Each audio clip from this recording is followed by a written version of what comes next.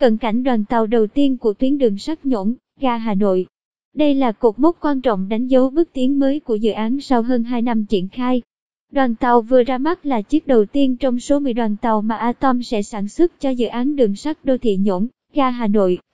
Giám đốc dự án Atom, bà Sylvia Sanelli đánh giá, đây là thiết kế độc đáo và dành riêng cho dự án tại Hà Nội. Đoàn tàu được thiết kế để chống lại điều kiện thời tiết thất thường, nhất là gió mùa. Về thiết kế bên ngoài, chúng tôi ưu tiên chọn màu sắc của quả thanh long, vốn là loại quả mang tính biểu tượng cao của Việt Nam. Ngoài ra, thiết kế mặt trước của khoang tàu cũng rất hiện đại, đây là một trong các thiết kế hiện đại nhất mà Atom từng làm, bà Sylvia Sanelli nói.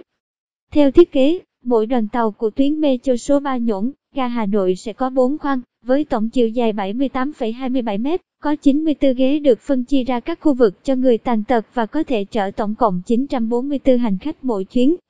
Theo bản ghi nhớ, các thử nghiệm động và tỉnh với đoàn tàu đầu tiên sẽ được thực hiện từ tháng 11 năm 2019 tại xưởng của Atom tại Valenciennes. Đến tháng 6 năm 2020, đoàn tàu đầu tiên sẽ được chuyển về Việt Nam và lắp đặt thêm các thiết bị nghe nhìn, tín hiệu. Thay mặt lãnh đạo thành phố Hà Nội, Chủ tịch Ủy ban Nhân dân thành phố Nguyễn Đức Trung cho biết, Hà Nội sẽ tập trung đẩy nhanh tiến độ của dự án.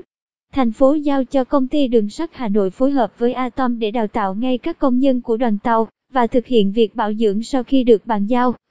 Chủ tịch Ủy ban Nhân dân thành phố Hà Nội bày tỏ mong muốn đến tháng 8 năm 2020, bốn đoàn tàu đầu tiên sẽ được chuyển đến Hà Nội và sẽ được tích hợp các bộ phận để có thời gian chạy thử.